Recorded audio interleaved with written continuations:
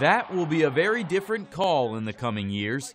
In a vote that was open to more than 82,000 people this week, one of these five will be voted UND's new nickname, leaving Fighting Sioux in the past. It's been a long process, and you know we know the Fighting Sioux is not coming back, and I think people are finally starting to grasp that. I've never seen a nickname or logo have so much so much power to so many people. You know, when the NCAA comes down like that, you know, you you have to make those changes, which is really really hard. Voting closed Friday at midnight, and while some may never truly part with the Fighting Sioux logo, UND could have a new nickname as soon as Monday. There's going to be people that are okay with it. There's going to be people that aren't okay with it, and um, and the way it is now, more people are going to complain about it than they're going to say, "Hey, this is a good thing." Hopefully, long term, there's you know emotions settle down and the university can move forward in a positive direction. Whatever it is, I hope that people still you know, take pride in the university and still support the university because I'll tell you what, that place has done a lot for a lot of people, and, and I hope that they continue to support uh, UND. So while some are concrete on their choice of UND's new nickname, I did vote. Yeah, yeah, I did vote, and uh, and Nodaks was my choice. I'm from North Dakota.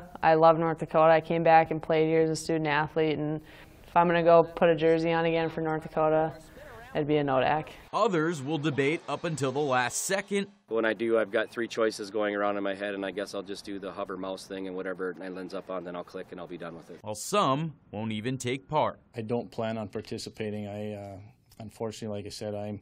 I played through that era. Uh, I used to get the uh, UND hockey games on TV as a child, and we watched those games. And um, to me, like I said, it'll it'll always be the same. Reporting for Sports Sunday, I'm Phil Neumann.